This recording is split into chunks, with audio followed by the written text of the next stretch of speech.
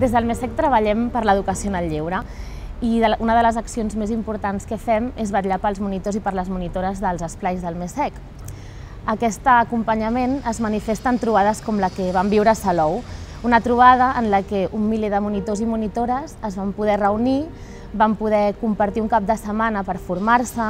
per donar reconeixement a la tasca que estan fent, per viure la seva fe.